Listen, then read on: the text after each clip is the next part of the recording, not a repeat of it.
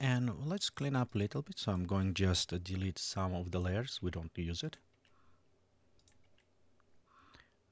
We'll go to um, so I'm going to rename some of them as we're going and as, as we're going we'll go probably rename more and more just to make it a little bit more understandable and workable easier okay right here we have our mountain far away. So what I want to do it is blend this a little bit more into scenery. Right now it's look too close and heavy. In some case maybe you want to have this heavier look on your mountain but just in case if you want to blend a little bit more in so maybe add clouds right here on the top. Um, what we're going to do it is create another adjustment and we'll go to um, hue and saturation for this one as well and remember we can take saturations quite a bit down and ignore the uh, our sky because we'll go to link. And we can add just slightly lightness to this one because things it's what we color saturations and lightness and detail so we'll add a little bit more to this area. And let's go um, right now same. We'll go clipping by press alt so you can see it's clipped somewhat to this area. So that is our mountain. Okay also I will rework probably more on the clouds and atmosphere afterwards. Actually you know what? Let me just in case remove that. So it's look kind of nice on the cloud so maybe we'll use this and just add some mask to this. So I'll leave it like this.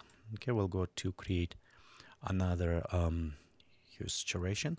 This will apply to this mountain. So we'll go to take see all the saturation down and add just slightly lightness to this one. Okay, let's go to connect to this mountain. So there's our lightness.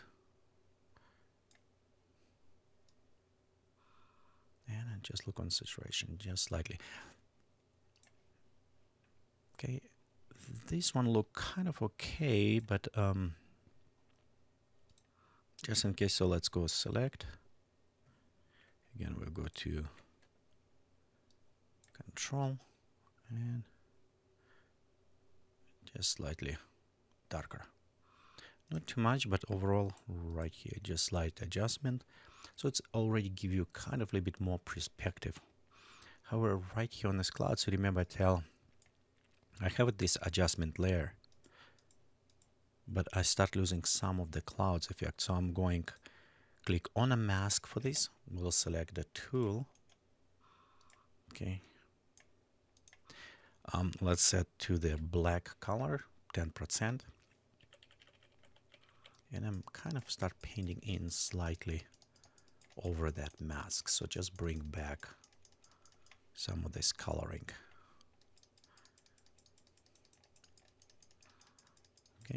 kind of adjustment. Um, also right here maybe some not very interesting so I want to add a little bit more clouds to this. Create new layer. Let's go to um, reverse to white. We'll go to the brush and same things. I have it some very interesting clouds you can see right here. We'll set to zero. So we can actually go and kind of add those clouds to that area. Okay.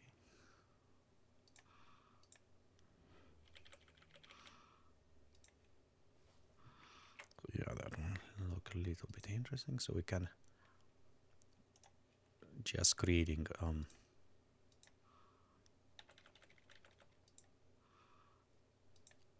it will give it some this effect of the mountains. Okay, let's go to this area and maybe add a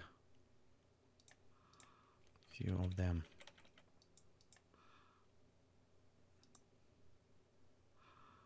Kind of around that area, maybe a little bit. There you go. So just add a height, almost added effect to the mountains. Okay, next what I want to do right now is start a little bit more paint in with actual dodge and burn effect. And we're going right here front before the front clouds so I want to create it new layer. Okay and I'm going to fill with 50% gray. Okay we'll go select to the soft light. And we'll just use it normal brush. Okay right here we'll set to the black.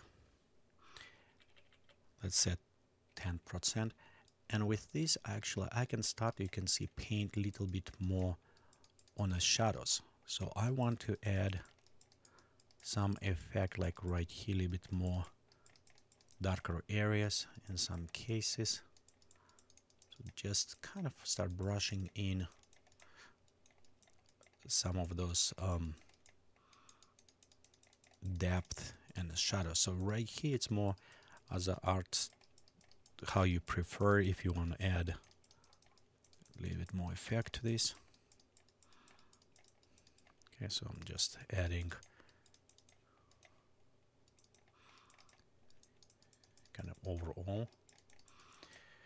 Okay um few things. Let's go to um overlook right now. So we have this is our close-up and again I'm many times when you work you probably want to spend a little bit more time. This is kind of faster look to create this concept of the um, matte painting I want to add some color correction to lay over all of my um, work. So I can go and create adjustments maybe bring you know some colorization to the cloud. I'm going to use for this so control shift alt E to create layer and we're going to filter and we're going to use it filter forge so I'm also will go use some sun to add rays right here from the sun but for now we'll just use that one.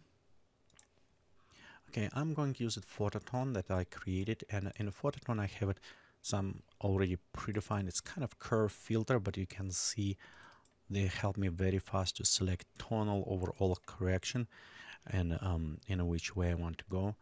So we have it a little bit more warmer or kind of colder look. It's depend which one you're going after. I probably will go maybe somewhat cyan colder look on this. Okay, so you can see it's added coloring. And in some cases you actually can go to, let me go select another one.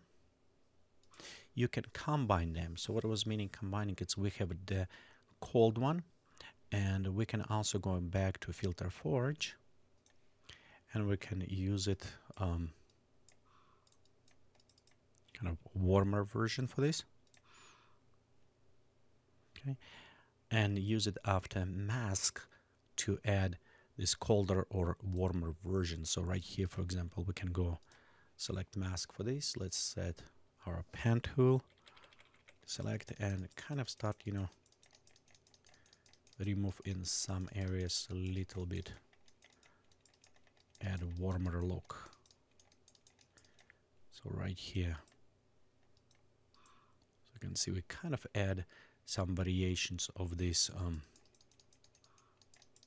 also right here we can go out a little bit coloring and a little bit more colder look inside. Okay also I say about rays what I want to do with rays I want to create a new layer.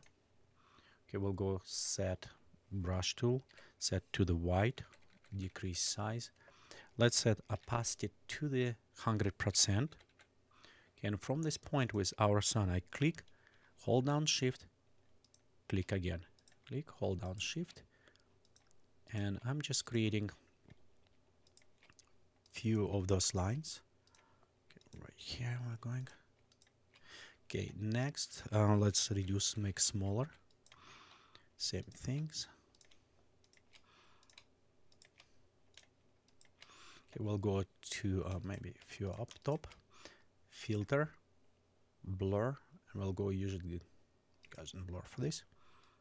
Let's pop up them a little bit. Okay maybe around right here. Okay and we'll go switch to the soft light. So it just add some god rays somewhat effect. We'll go create new layer fill up this layer with actually all black and switch to the screen so I'm going to create uh, maybe couple layers like this. And also right here let's disable control shift alt e. And I rename this as um, preview.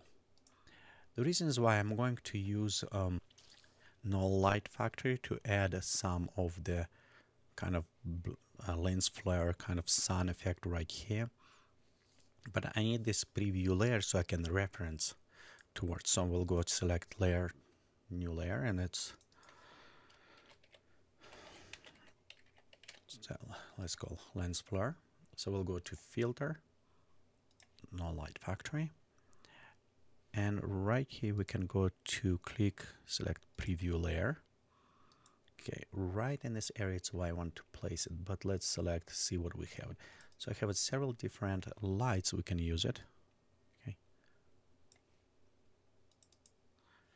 And it depend which what you're going after so you can kind of see how they will affect. But all these um, the reasons why I want to use some lights like this they will give it interesting effect as well. It's a little bit trick to blend all of them together.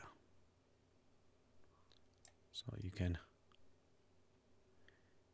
bring this way.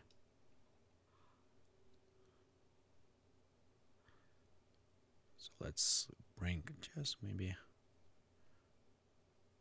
right there. And again this is preset we can look on um, different. So it's a maybe create with more lens flare um, adjustments. Let me look on this one. Okay now I have it Panavision but I think overall the one that um, this one will work probably the best so we'll go adjust Okay, let me see how much brightness I want applied. Okay, and well done. Let's click OK. So right here we have our lens flare. Just add a little bit more touch up kind of interesting effect to this. Okay, and we actually don't need this one. I was thought if we create second one. And next, what are the last things I want kind of encapsulate all of this together. So we'll go to curve, bring it down, and just create border around let's fill up with the black and we'll just add feathering so here's interesting things we can go set this to this soft light and right now you can see it's kind of a little bit darker border but you can also nice things about this we can take move all the way to the bright and now we add bright border. So in this case I probably want to create brighter white border so it's kind of dissipate all of the going inside.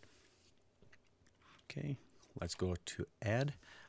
And um, because this one I want I like to create a little bit more look like illustrations for this. I'm going to add some of the sharpness to this image by using um, overlay. And we'll go to filter other high pass and just add high pass of 1 and maybe you know just let's a little bit that way. So I just give this a little bit extra sharp kind of look almost like it's total illustration. Okay so right here kind of almost done with this. I want to have just a couple more touches. Uh, we have a sharpen layer which add everything but I want to bring a little bit more interesting character to this. Right now it's kind of sunny and nice so let's create more weird weather and I'm going to click right on the preview new layer we'll go to fill this layer with just a white color okay? Let's go to filter noise and we're going to create um, add noise. And amount you can just create um, maybe about 150 should work fine monochromatic so we'll click OK. And we'll go to next normal and switch this to the soft light. So we have it kind of you see all this grain next we go to filter blur and we'll switch to the motion blur. And motion blur I want to have it from direction of his walking. So from this direction you can see um, we can maybe set just slightly. Right here let's click ok. So you can see it's add this interesting effect almost like snow going. Um, of course we can take our um, brush let's go to select black one. And you know just a little bit decrease right here on the top where the sun kind of a little bit reduce just slightly on the back one mountain but leave it a little bit closer. So kind of just spacing. But this is, will give it I think a little bit more character to this scenery and as I said before you always can go back and just start adding more and more details but overall here's a concept and we created um, matte painting from rendering elements inside the Vue. And I hope you enjoyed this tutorial from Geekatplay Studio. And please remember visit us in the web is www.geekatplay.com